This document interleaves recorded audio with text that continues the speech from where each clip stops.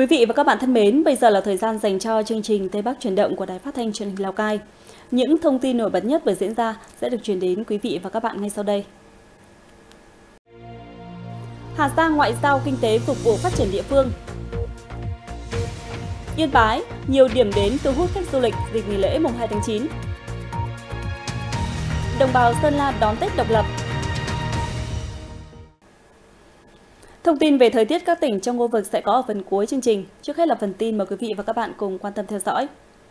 Thưa quý vị và các bạn, đứng trước sự phục hồi mạnh mẽ của các hoạt động đối ngoại sau dịch COVID-19, tỉnh Hà Giang đã kịp thời nối lại các hoạt động ngoại giao với các đối tác nước ngoài nhằm tăng cường thu hút đầu tư, vận động các nguồn vốn từ các tổ chức quốc tế, đảm bảo theo đúng lộ trình chiến lược hội nhập quốc tế. Trong 6 tháng đầu năm nay, tỉnh Hà Giang đã triển khai nhiều hoạt động ngoại giao kinh tế có ý nghĩa, nhờ ký mới 11 thỏa thuận với các cơ quan đơn vị nước ngoài, chủ động tham gia các hoạt động giao ban, làm việc với các thương vụ của Việt Nam, các tổ chức kinh tế trong nước và ngoài nước nhằm nắm bắt nhu cầu và tìm hiểu thị trường để xuất khẩu hàng hóa. Hiện tại, trên địa bàn tỉnh có 5 chương trình dự án ODA và vốn vay ưu đãi nước ngoài được thực hiện. Tỉnh tiếp tục vận động 3 dự án sử dụng vốn vay ODA mới, trong đó có 18 chương trình dự án khoản viện trợ mới ký cam kết trong năm nay, đạt trên 3 triệu đô la Mỹ. Thời gian qua, huyện Mường Nhé, tỉnh Điện Biên đã tập trung nhiều giải pháp huy động lực lượng triển khai thực hiện đề án số 06, bước đầu đã đem lại hiệu quả. Toàn huyện đã thu nhận được trên 22.000 tài khoản định danh điện tử. Huyện Mường Nhé đã thành lập ban chỉ đạo tổ giúp việc, chỉ đạo Ủy ban Nhân dân các xã, thị trấn xây dựng kế hoạch, thành lập tổ công tác triển khai thực hiện đề án 06 tại cơ sở. Đến nay, 11 trên 11 xã, 115 trên 115 tổ dân cư, bản đã thành lập tổ công tác triển khai thực hiện đề án 06. Các phòng ban của huyện, Ủy ban Nhân dân các xã tập trung vào giải pháp tuyên truyền vận động nhân dân, lồng ghép tuyên truyền tại cộng đồng dân cư. Đến nay, huyện đã tiến hành thu nhận gần 34.500 hồ sơ cấp căn cước công dân đủ điều kiện có mặt trên địa bàn, đạt 100%, thu nhận trên 22.000 hồ sơ định danh điện tử, đạt trên 72%, trong đó kích hoạt thành công 15.200 hồ sơ, đạt trên 50%.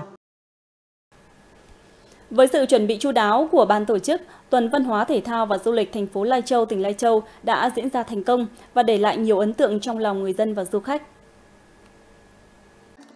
Tuần Văn hóa Thể thao và Du lịch thành phố Lai Châu lần thứ nhất năm 2023 đã thành công tốt đẹp, thu hút sự tham gia của hơn 1.500 nghệ nhân, diễn viên, vận động viên của các xã phường và các cơ quan đơn vị thành phố Lai Châu và xã Nùng Nàng, huyện Tam Đường tham gia.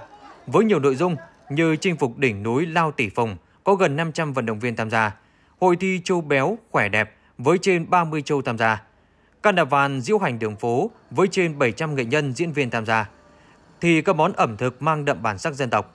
Tuần văn hóa thể thao và du lịch năm nay có nhiều đổi mới cả về nội dung, hình thức và quy mô tổ chức, do đó đã thu hút được rất đông khán giả. Lễ hội cốm huyện Bắc Hà, Lào Cai với chủ đề Hương cốm cao nguyên sẽ diễn ra vào cuối tháng 9 này, góp thêm một sản phẩm mới cho du lịch vùng đất cao nguyên trắng. Diễn ra trong hai ngày 23 và 24 tháng 9 tại khu nhà hai tầng chợ văn hóa Bắc Hà. Tại đây, người dân và khách du lịch sẽ được tận mắt chứng kiến nghề thủ công truyền thống làm cốm, thi chế biến món ăn từ cốm của đồng bào bản địa. Đây cũng là một trong những hoạt động hấp dẫn của chuỗi sự kiện của Festival Mùa Thu Bắc Hà 2023. Thông qua lễ hội nhằm quảng bá giới thiệu nghề truyền thống và sản phẩm nông nghiệp đặc hữu địa phương, tạo điểm nhấn thu hút nhân dân và du khách đến với huyện Bắc Hà, tỉnh Lào Cai.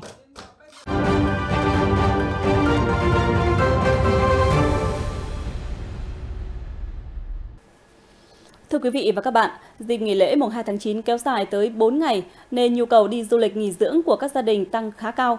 Một số địa điểm du lịch trên địa bàn tỉnh Yên Bái đã thu hút lượng lớn du khách đến tham quan nghỉ dưỡng và trải nghiệm.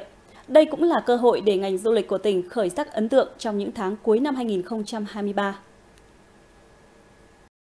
Được ví như Vịnh Hạ Long trên núi, nên danh thắng quốc gia Hồ Tắc Bà luôn là địa điểm lý tưởng thu hút đông đảo khách du lịch khi đến với huyện Yên Bình của tỉnh Yên Bái. Trung bình mỗi ngày có hàng chục đoàn khách đến đây tham quan trải nghiệm. Đây là lần thứ ba gia đình tôi uh, trở lại Thác Bà. À, vì sao? Bởi vì Thác Bà có vẻ đẹp riêng của nó. thiên nhiên hoang dã, à, tình người Yên Bái rất tốt. Mình thấy cảm nhận là ở thác bà thì có một cái vẻ đẹp riêng, nó mang tính chất quê hương và uh, trẻ con thì ờ, rất là thích có những cái điểm check in uh, chụp ảnh rồi uh, dịch vụ ăn uống cũng là tốt.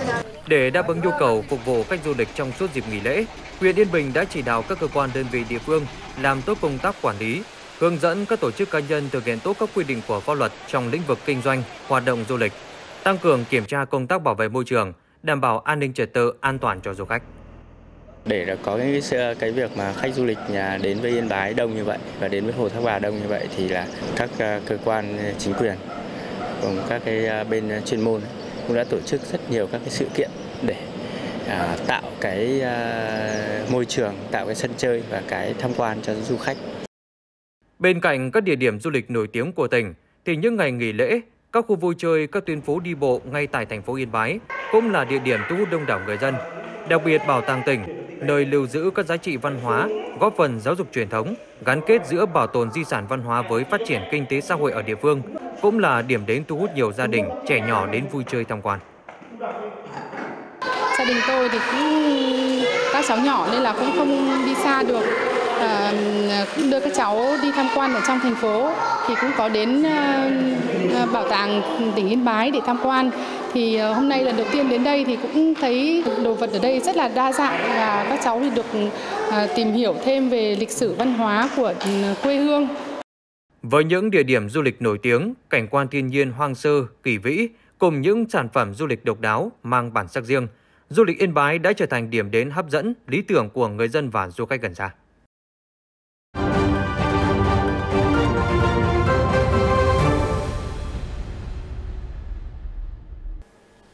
Quý vị và các bạn thân mến, ngày Tết độc lập, ngày hội lớn của non sông là một mốc thời gian có ý nghĩa vô cùng đặc biệt với mỗi người con đất Việt.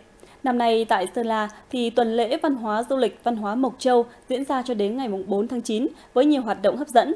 Mời quý vị và các bạn cùng đến với mảnh đất cao nguyên Mộc Châu Sơn La để cùng hòa mình trong những thanh âm và những hình ảnh rực rỡ trong những ngày này. Gần 70 tuổi đời, cả quãng đời đón Tết độc lập mùng 2 tháng 9 tại mảnh đất ông sinh ra và lớn lên. Nhưng với ông Mùa A Của, xã Triềng Hắc, huyện Mộc Châu lại có một cảm xúc khác nhau. Nhưng tất cả vẫn là niềm tự hào và biết ơn. Tôi thấy là hàng năm là đến ờ, cái tiếp ờ, lầu lầu của à, dân tộc Việt Nam mình thì tôi cũng rất là xúc động, rất là bơi hơi thì tôi cũng dạy bỏ con cháu phải khôn ngoan, chịu khó mà học tập để sau này là giữ lấy cái ờ, tiếp lâu lời của ờ, nước Việt Nam mình để xây dựng bằng bản làng à, giàu đẹp. Ngày Tết độc lập mùng 2 tháng 9, ngày hội lớn nhất trong năm tại Sơn La. Năm nay, tại tuần lễ văn hóa du lịch huyện Mộc Châu diễn ra 12 hoạt động sôi nổi, mang đậm bản sắc các dân tộc, không chỉ tạo không khí vui tươi cho bà con, mà vui Tết độc lập còn góp phần bảo tồn những giá trị văn hóa truyền thống của dân tộc đang ngày càng bị mai một qua năm tháng. Trong quốc khánh mùng 2 tháng 9 ấy, thì họ em hay giá chỉ thi đấu ở trong xã mình mà.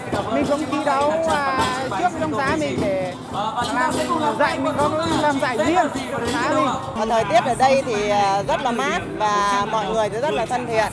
Nên mình cũng muốn là còn đi à, lần thứ hai và còn đi nhiều lần nữa.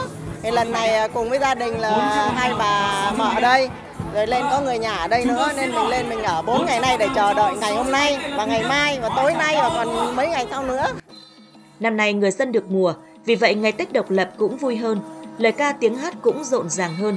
Sự ấm no hạnh phúc đã thể hiện trong chính những thanh âm của điệu khen, tiếng phí ngân vang khắp núi rừng.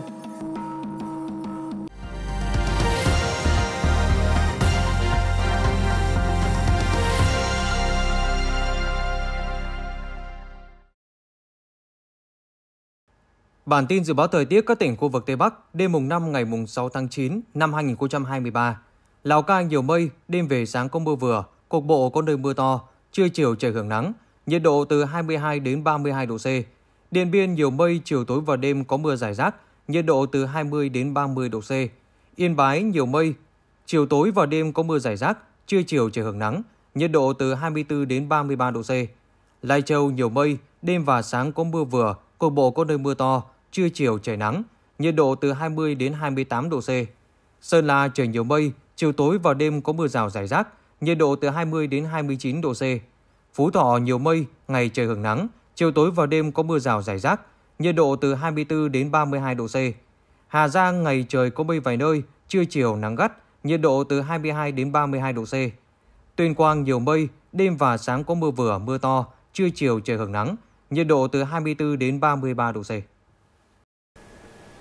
Quý vị và các bạn thân mến, thông tin về thời tiết các tỉnh trong khu vực đã khép lại chương trình Tây Bắc chuyển động của Đài Phát thanh Truyền hình Lào Cai. Cảm ơn sự quan tâm theo dõi của quý vị và các bạn.